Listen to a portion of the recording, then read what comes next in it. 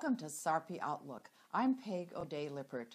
Our guest is State Senator Jeremy Nordquist. Welcome, Jeremy. Glad to be here today, Peg.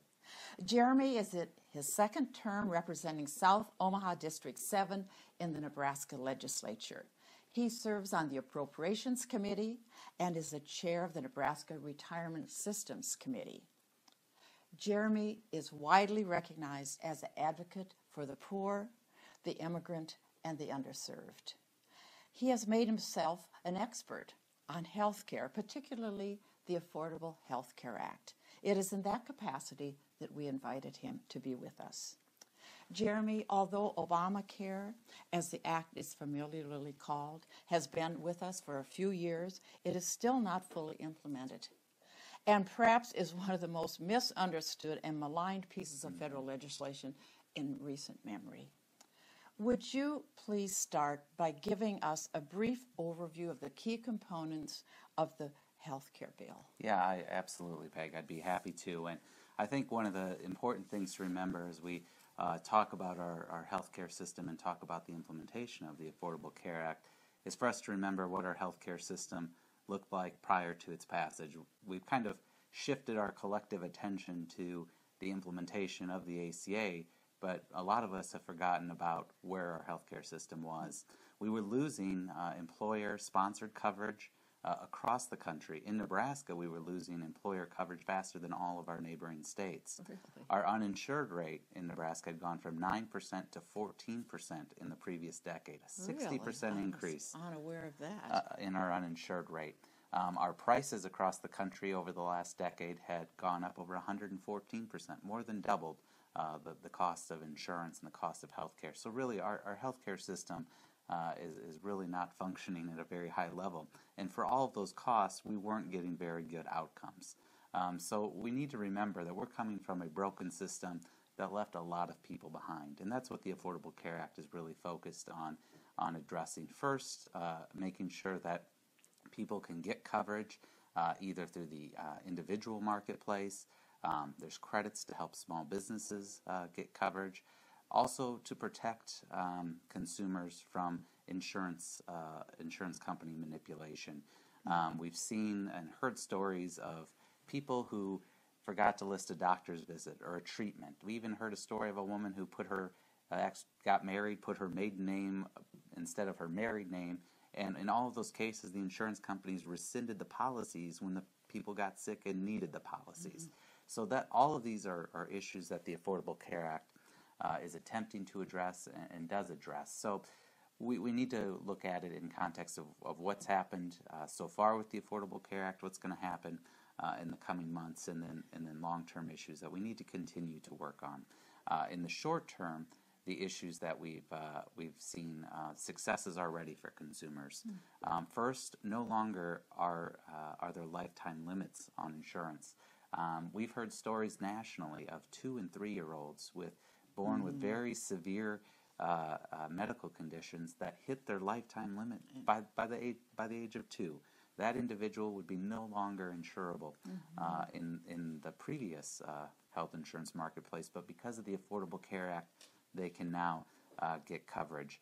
Um, we know that people up to the age of 26 can stay on their parents' health insurance plan. And certainly, with the economy the way it's been, um, it's important for those uh, those young people who mm-hmm. haven't found stable employment with benefits that they can uh, stay on their parents' health insurance plan. In Nebraska, that's about 18,000 people have taken really? advantage of that. Really? That actually, for the first time in almost a decade, because of that provision, we've seen our uninsured rate on the mm. decline mm. for the first time in, in, in, quite a while. So that's a, a great uh, policy that we should we certainly should celebrate. Um, we, uh, we now, uh, there's a provision that's called the medical loss ratio, where insurance companies have to spend at least 80% mm-hmm. of those premium dollars that are paid in on healthcare, mm-hmm. on actually paying for healthcare. That means they can't spend it on corporate profits, on administrative overhead. It actually has to go to pay doctors, mm-hmm. nurses, buy prescription drugs. And those companies that don't meet that threshold have to send rebate checks yes. out. And I actually, the first year, uh, received really? a rebate check. really? um, uh, in the state legislature, we don't get health care provided to us. We have to find our own, so I purchase on the individual market. And my insurance company only spent 75% of their dollars on health care, so I got a check for 5% of the premiums I paid in back. That is now all, uh, that is all taking effect, um, and that is helping bring down uh, insurance costs. And for our seniors, another provision that's already taken effect is the prescription drug donut hole has uh, begun to shrink and eventually, under the law, will go away. Um, it's saving in Nebraska. We have uh, uh, several thousand seniors who have already, on average, saved uh, you know about six hundred dollars a year on their prescription drugs. So those are very real, very meaningful uh, pieces that have taken effect uh, so far for uh, Nebraska families.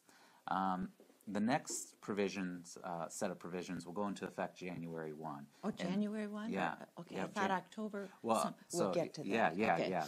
So January one is when uh, in the insurance uh, uh, in the insurance industry they'll have to start uh, covering.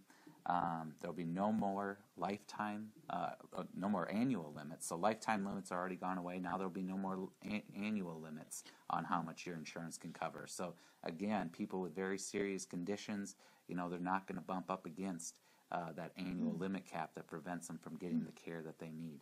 Um, the biggest piece that goes into effect January 1, and it's really something that should be celebrated uh, across this country, is that no longer will someone be denied health insurance coverage because of a pre existing condition. Whether you're a farmer in rural Nebraska or a child with autism or asthma, you will be able to get coverage and insurance companies will no longer be able to tell you no. So that is that is that is really the crux of the Affordable Care Act. Is that covered for children already? That is, Isn't yeah, it? that is So that's going to be an children. Yep, extension yep. So for adults, that's exactly right. one. That's exactly what I right. So I think, I, you know, it, certainly there's a lot of political uh, hand wringing about the Affordable Care Act, but I think most Nebraskans value uh, the idea that anyone, regardless of their health condition, should be able to get health Mm-hmm. coverage. Um, so that that's a, a huge win for families and for children in the Affordable Care Act. So to so now that everyone um, can get coverage, a key is uh, the insurance companies. When the law was was moved forward, they said you got to make sure that that people get that coverage because they can't just hop in and hop out because that that won't work financially Mm-hmm. for us, and that makes sense. It's like how, uh, insurance for your home. You can't call up your house and your homeowner's insurance. and- hailstorms well, yeah, on. well, the, where the storms come and say, "Hey, I'd like to purchase Yeah, uh-huh, insurance." Now that that just doesn't make sense. Mm-hmm. So we set up uh, uh, vehicles in the Affordable Care Act for people to get uh, insurance. First, with the small business tax credits, which are uh, in effect, and companies are taking advantage of that right now. You know, Jeremy, I've heard complaints uh, of, about small business people that they have reduced the hours of their employees so they don't have to provide coverage. But doesn't that only apply to companies That's- that that's employ fi- 50 people? That's right. They have to be large, large companies of 50, 50 or more. Mm-hmm. And you know, we have heard uh, some stories, but we've also heard stories of companies that say, you know, we're going to be good corporate citizens and make sure our, our employees get coverage. So I, I think that issue, um, uh, the conservative uh, media certainly has picked a few, cherry picked a few stories nationally. But I think Mm-hmm. Well, that Could you tell me on a, a- a company, for example, McDonald's? You know, a lot of the Sure. employees there are part-time. Yeah. But that surely doesn't just apply to the, my little local McDonald's here, does it? Or is that a corporate? No, it, it, so it would be uh, on the corporate level Yeah, if, if it's so- owned by, you know, if it's a franchise that's owned, and, and most McDonald's franchises or fast food have multiple locations, so it's the entire system wide. Yeah, for, Mm-hmm. Okay. for the franchisee, I would, Okay. I would That's think. what but I yeah, would have assumed. Yeah. But I've heard complaints, you know, in that area, yeah, the that's small right. business. That's right. So to get um, to get access to coverage, there there really are a couple of vehicles. Um, the the biggest one that most people are going to be talking about is the insurance marketplace or the Yes, exchanges. tell us about that. Yeah, and that, that really kicks off here October 1st. Um, people will be able to go online to healthcare.gov or uh, call in if they don't have access to a computer at 1 800 318 2596 is the is the online number. or Is the- that a local state number? that is the, that is the national, national call okay. center. It's available 24 hours a day, seven days a week.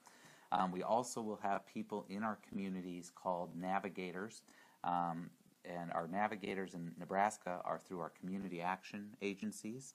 um, and, and there's a number of those around the state. Their local number is 402 471 3714, and that is the local uh, community uh, action agency. They will be your local uh, voice on the ground. But if you call into the national number, the 800 number, they will also help direct you in the right. right So the 402 number would cover people in this area code, but there are other numbers to cover the rest of the state? right, that's right. Which could be accessible that's right. through the 800? That, that's right, Number. exactly. Or, or the website at, at healthcare.gov. Mm-hmm. So we decided in Nebraska, the governor decided, um, largely to, to let the federal government set up an exchange for us. So there'll be a so healthcare.gov is the site.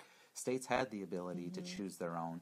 Um, I thought it would be uh, important for us to, to have our own exchange because we've seen now in states that have done their own exchange and really tried to drive competition into that exchange, that marketplace, we've seen lower premiums. Uh, in states like Oregon, California, New York, Minnesota, we've seen premiums as low, uh, subsidized premiums as low as $20 a month for, for young Really? individuals. So Really? it, it can be really affordable. Uh, Nebraska's rates aren't aren't finalized yet, but um, they're going to be, you know, in, in the range of the current marketplace. Um, but ultimately, that competition of getting insurers into into the marketplace and selling the same product, they're all going to sell apples to apples. Oh, is it? It will so, be yep, So, so Uh-huh. um, how it's going to work is is when you log on and set up your account, uh, you'll get a, a, number of options from each. There'll be four insurance four insurers selling in our state: Okay. uh, Blue Cross, uh, Coventry. Um, there's a cooperative, which is a nonprofit cooperative plan that's based in Iowa, but it covers Iowa and Nebraska.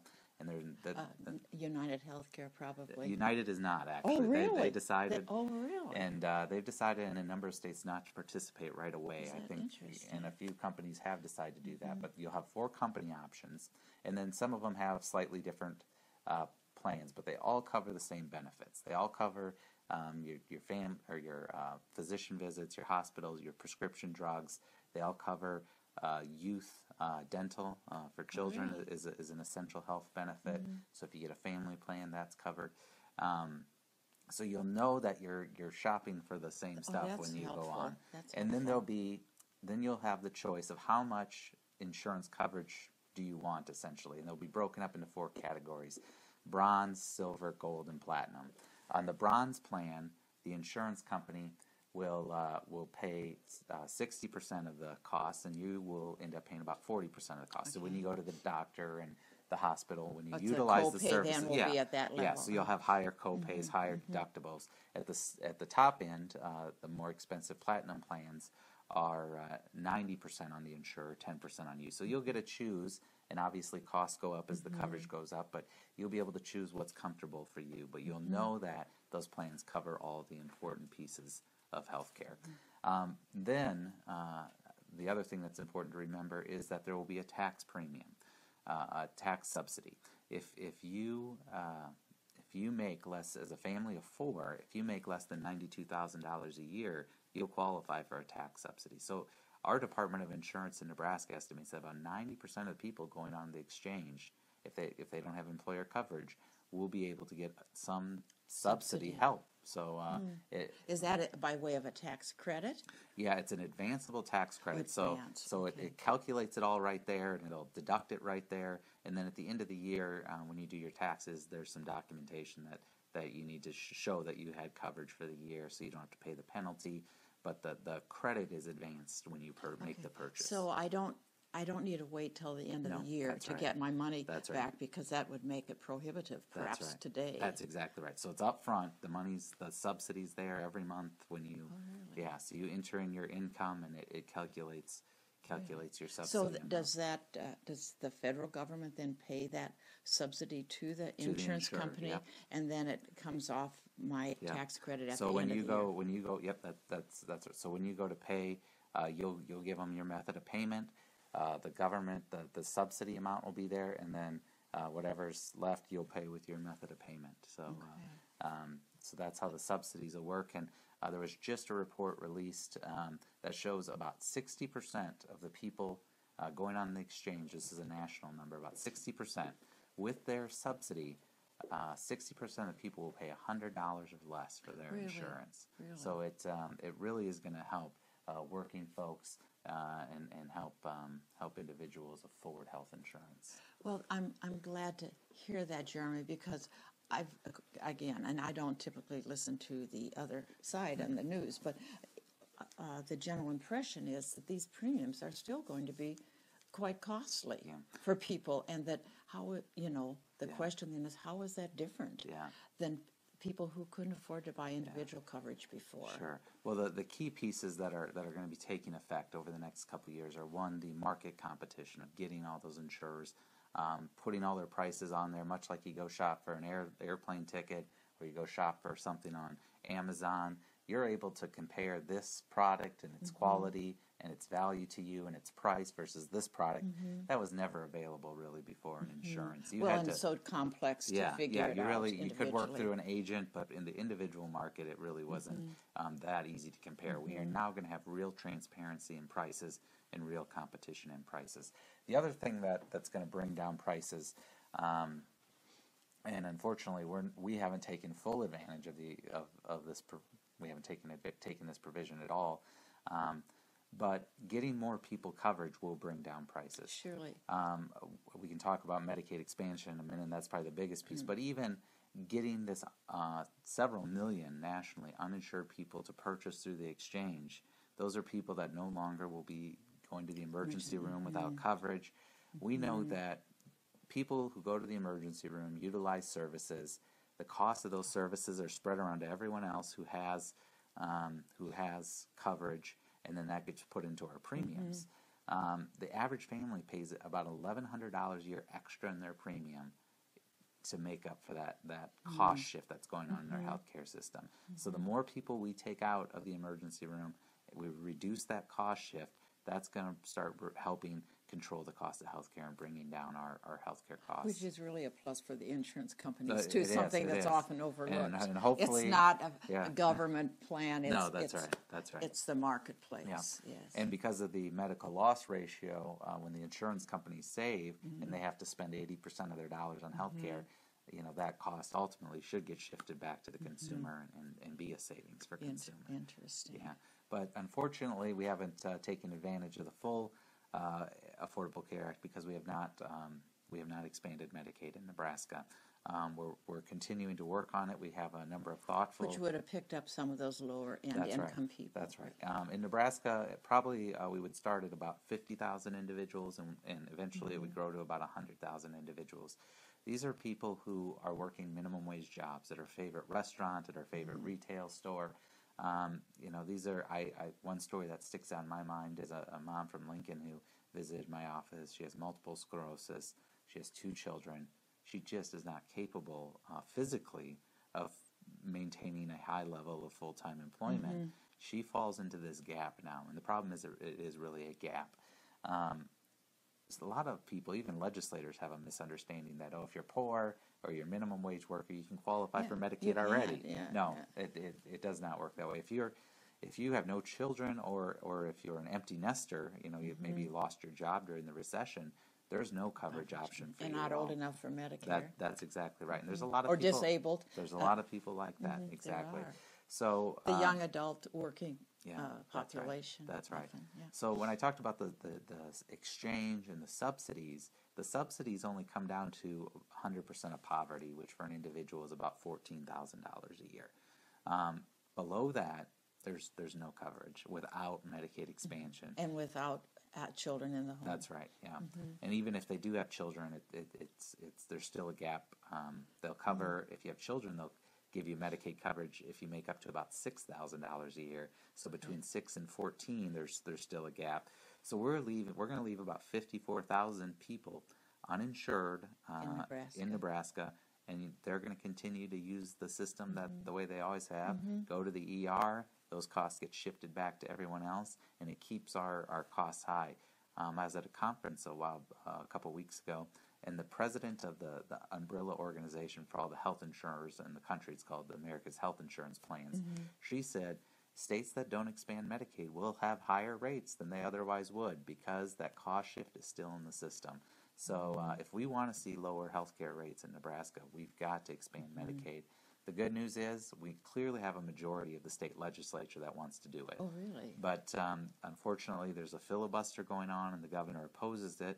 We got we need 25 for a majority, which we're past that. We need 30 for a governor's veto. I think we're getting close to that Oh, number. really? So that We will need- come up again? We need 33 to to to get get cloture to shut off debate. Oh. Um, and we're there's enough open minds that I think we can get there. Um, but it's certainly gonna ha- we're gonna have to hear from um, constituents uh, all across the state to, to reach out to their Mm-hmm. Will, will legislators. there probably not be enough evidence by the time the next session of the legislature Well, I- to I- prove yeah. that that really makes sense? Yeah, well, I'm hopeful that looking at, we've seen a lot of other states come up with innovative ideas. Mm-hmm. Iowa and Arkansas, we've just heard.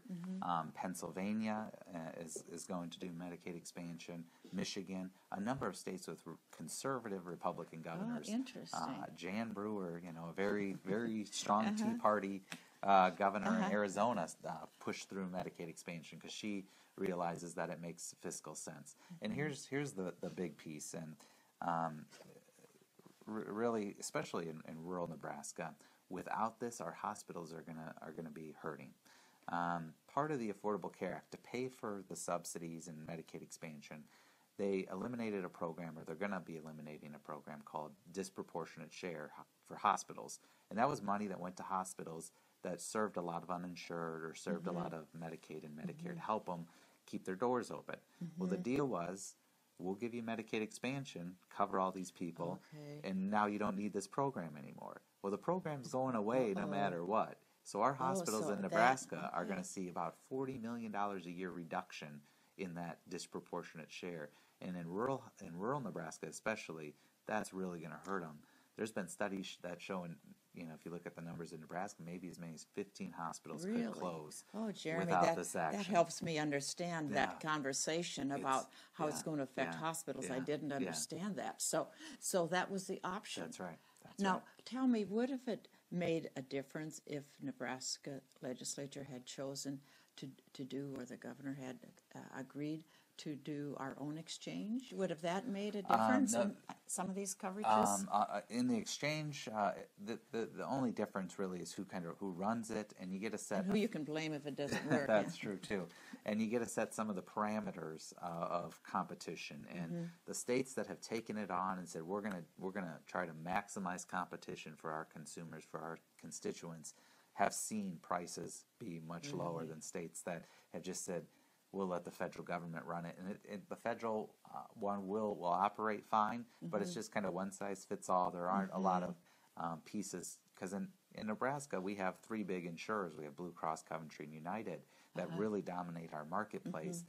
You know, I would like to see as much competition in that Surely. marketplace as possible.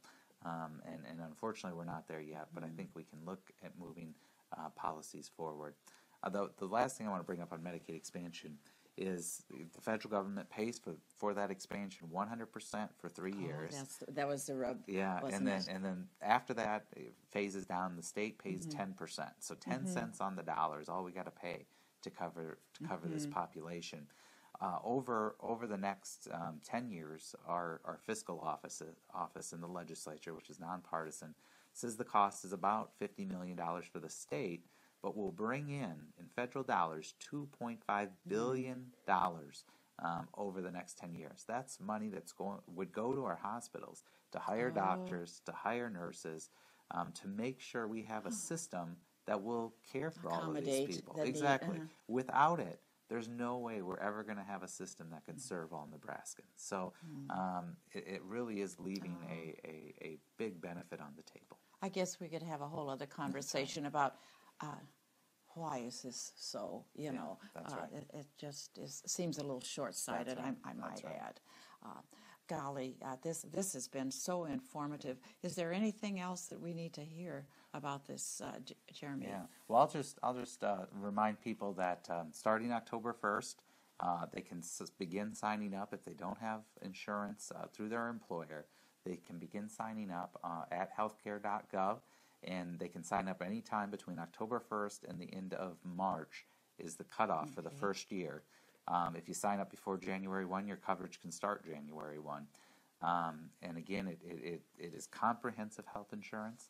if if you make as a family of four below ninety thousand a year, um, you can you can get support to purchase that that coverage. Um, and again, that it's healthcare.gov.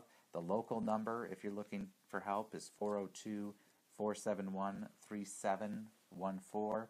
Um, and and I encourage uh, encourage all the listeners to help get that word out too to any of their neighborhood groups, church groups, um, uh, and neighbors in the in their neighborhood who have questions about it. Point them to healthcare.gov, uh, and there'll be answers for them there. Well, thank you so much, Jeremy, for your time. And on behalf of the Sarpy County Democrats, I want to thank you for your leadership, your dedication, and your expertise. And I personally, having followed you since college graduation, am so proud of you and your faithfulness to your beliefs. That's nice of you to say. Thank- Thank, thank you. Thank you.